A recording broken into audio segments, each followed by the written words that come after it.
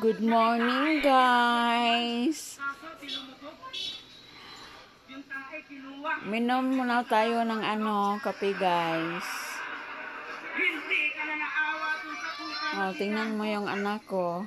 Walang kamalay-malay dun sa tae mo na jampo. Ang aga-aga. Ganito, alam mo, mula nang isulat mo sa puwet yung pangalan ni Kayla, Nanood ng ano. suka na ng suka para daw nakulang. Nanood ng sa computer niya. B. panahon pa ng Griego, Si discover ang unang balik ng echo. Hello, hello. hello, hello. Ang ina nito, pero may kanta yan.